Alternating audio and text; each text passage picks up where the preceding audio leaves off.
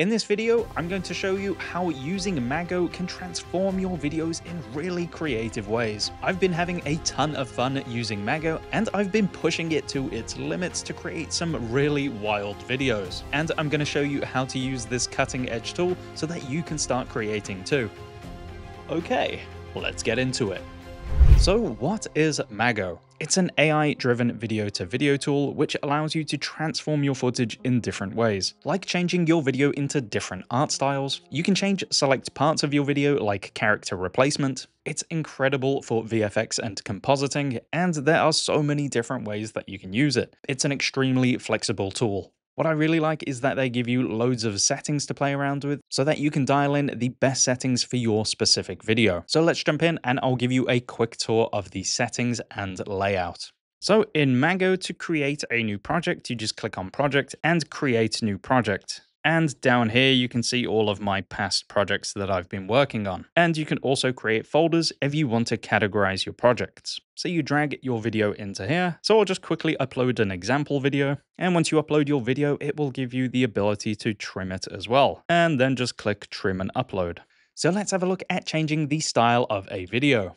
So now the video has been uploaded and you can see it in the timeline here. And I really like the layout that Mago have gone with. So you have your timeline here, you can select anywhere on the timeline, or you can choose the frame here. And this blue bar here with the in and out points is the duration of what you want to export. So this is the main video. And if you click here, this is where we're going to create our first stylized video. And if you want to change the name of that, just come up here and I can put dance one. And you'll notice we have some settings over here. So if we click on the model box, this gives you all their models that they have available. I'll just stick with this one for the moment. You can either upload your own stylized frame if you have one, but if we use their stylized frame option, it gives you a few options on different image editors to use. This is where we can have a lot of fun transforming our videos. So up here, you can choose the frame that you want to stylize. And because I'm doing it from the start, I'm just leaving it on zero. But if you do want to change it, I could put in 10 and you'll see it will update the image there. So we have Kontext, Mago, Nano Banana, and Seedream. Kontext, Nano Banana, and Seedream are really powerful image editors, and I'll get to them shortly. I'll quickly look at Mago first, and this one is better suited for just changing the kind of art style of your video. So what's great is we can upload a style reference image. So what this will do, you can upload an image of a certain style, then Mago will look at this and actually create an automatic prompt which describes that style, and then it will use the prompt and the reference image to create a stylized first frame in that certain style.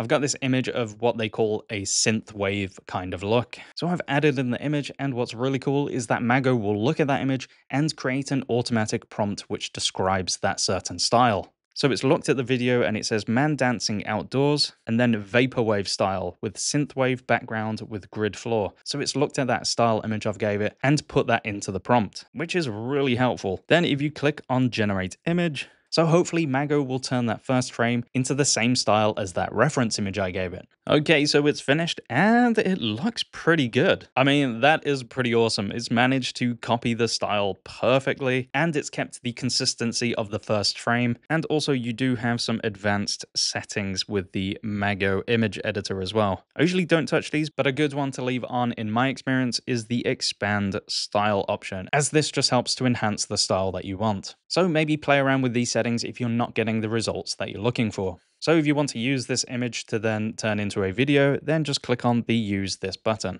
But now let's have a quick look at the other image editors. So we have Kontext, Nano Banana, and Seedream. They're all quite similar, but my favorite ones are Nano Banana and Seedream. As with these two, you get the option to upload an image, kind of like the Mago image editor. So for example, I could upload an image of a certain helmet or character, and then say in the prompt something like add the helmet from the reference image, then it will take what you put in that uploaded image onto the video. So this is really helpful if you have a certain design or style that you want to have in your video. But prompting is still incredibly powerful with these image editors. So I could just say, turn the man into a robot. I'll try one with Nano Banana and Seedream. Now, the Seedream and Nano Banana ones look great. It's kind of made a hybrid version of the character. This was a very simple prompt, so you can add in more detail if you want to. As you can see, it's kept the background the same, and using these image editors is great for doing select changes in your videos. And here's a version where I said change it into an anime style, and it looks awesome.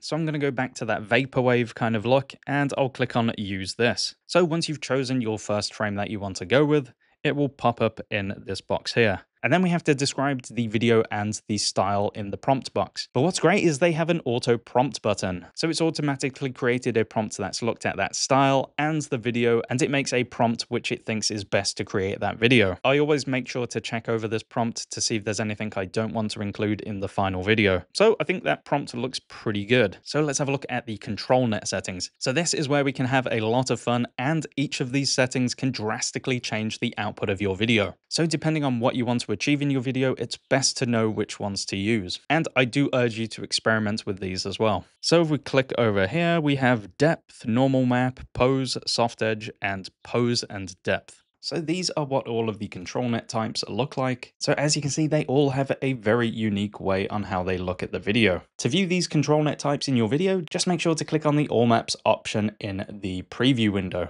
So I'll actually do pose and depth on this one. And we have different settings here like pose strength and depth strength. I'm going to keep these at their default settings, but I do urge you to kind of test these settings if you're not getting the results that you're looking for. And we have face mesh, which is great if you've got a video with a close-up of a face or someone's face in the shot and you want to try keep it as accurate to the original video as possible. And in advance, we have the output size. So this model, the highest you can go to is 1280. Just a quick note here about the differences between the first frame version 3.4 and 3.3. The 3.4 model has an increased output size of 1600, but it has a lower max context size of 120 frames, whereas the 3.3 model has a max output size of 1280, but has a higher context size of 200 frames. So that's just a note on those differences between the models. Then we have the steps. The more steps you add, it will cost more credits and will be slower, but will give you more detail in the final output. I tend to keep a lot of them at their default settings, and the one that I do change from time to time is the context settings. Context size determines how many frames are rendered in one batch. So for example, say you wanted to render a video which was 200 frames long. And if you set the context size to 100 frames, then it will create two batches of videos and put them together in the final output. You also have context overlap. You can increase the context overlap number to help reduce the sharp transition in between the two videos. But if you are finding these settings quite overwhelming or you're confused about something, then come down to the question mark in the corner for the Mago Assistant. This is a fantastic tool if you are stuck and just need help with something. You can ask a question about Mago and it should do a really good job at answering your questions. Also, I would recommend joining their Discord group as well as they have a very dedicated community that will help you out if you have any questions. And they even give you some recommendations on what you can ask it. So I could click on stylize my video into anime, and it gave me the option to add in a new track with these settings that it's provided me, which is extremely helpful, especially if you don't know what to do with the settings. And it's even given me a breakdown of the changes it's doing. I even asked it what is context size, and it gave me a great answer. So this is fantastic if you want to know what certain settings do, and if you want help changing the style of your video. So when you're ready to generate, you will see you get two options here. If you just want to preview what it's going to look like, then you can do a test export, which renders out the first 48 frames. This is great if you want to save credits, but want to see how the video is going to look. And remember to adjust the blue in and out points to select the duration of what you want to export. And as you change the in and out points, you'll notice that the generation price and frames will change down here. And just to note, depending on the length of your video, it can take a while to export. But the good thing is you can queue up your videos to render in the background. And if you want to quickly create a copy of a video you've already done, you just click on these three dots and click on duplicate. And then from here, you can go in and change the settings if you want to. So I've rendered that video and it looks awesome. As you can see, it follows the original video perfectly.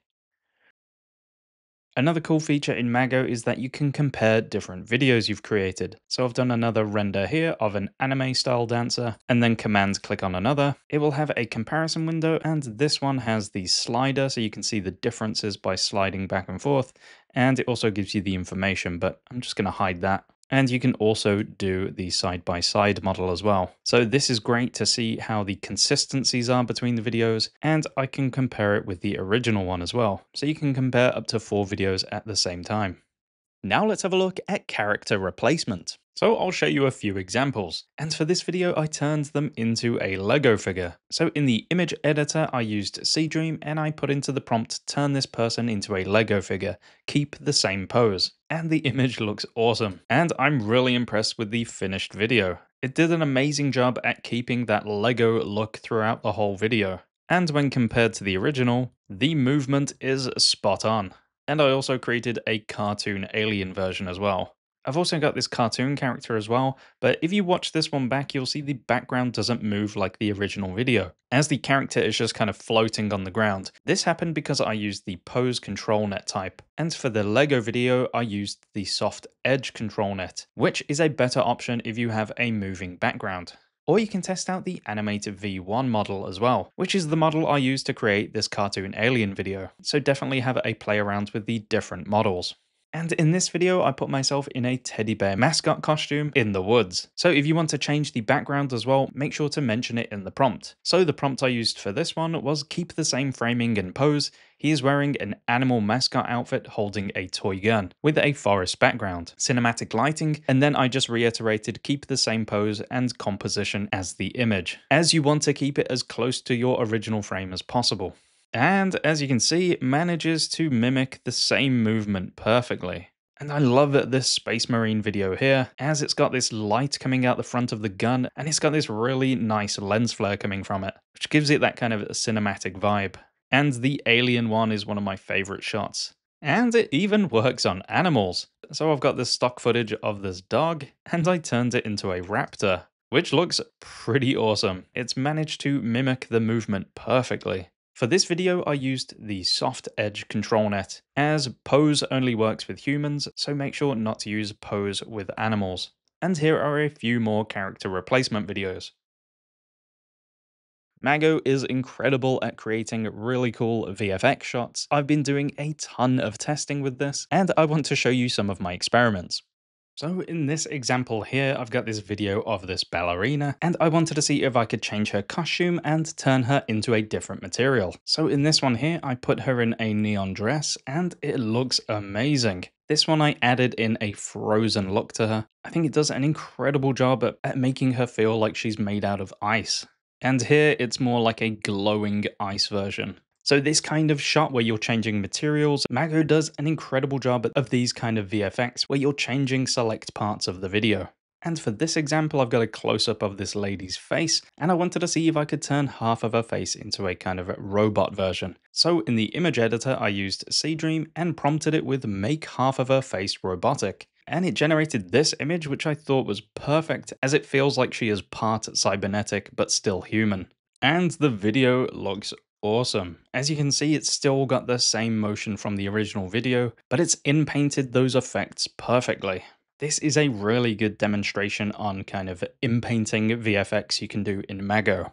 And I also did a similar effect from this dog video I showed before. So I wanted to add some armor to the dog, and it looks incredible. Even with the camera shifting around, it just looks so good. It actually feels like the dog is wearing the armor.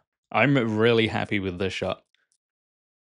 And I've got this video of me from the intro. So to do this, I just prompted it with turn his arms into Space Marine arms. I was really happy with the image it made, but as you'll see, my face does not look like me. Now this can happen from time to time, but I actually planned out this shot so I could mask out my face and keep the arms in the same shot. So to do this, all I did was put the VFX shot over the top of my original video, then I masked out the area where my face was to show my original face underneath. So this is a workaround if you want to create these kind of shots and have your real face and performance still in it. Otherwise, you can just create yourself into a different character and it will be fine and also experiment with changing props. So like I showed you before with those gun videos where I turned my white cardboard gun into a real looking gun, I tried the same with this video of me holding this hose. And I actually got a pretty good job at turning it into a snake. Even though the top of the snake still has a hose attached to it, I'm sure with a bit more prompting I could fix it.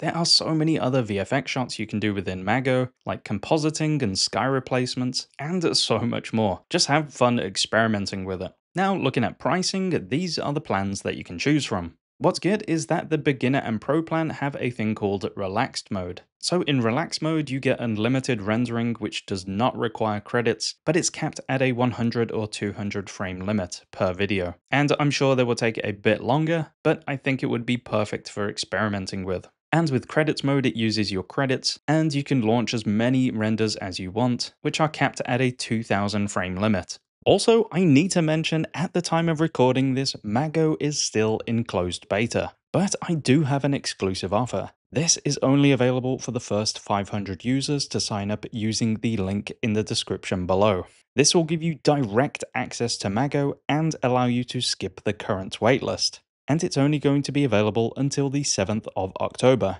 and for the first 500 users. Plus, you can get 60% off your first Pro plan by using the code ATOMICPRO. So I hope you can see just how powerful and fun Mago is to use. I urge you to test it out and get creative with it. Once you know how to use all the different models, you can start to have a lot of fun. If you have any tips or tricks you would like to share with the community, then leave them down in the comment section down below. If you've enjoyed this video, please give it a like and subscribe to my channel for more videos like this. My name is Jack, and I will see you in the next one.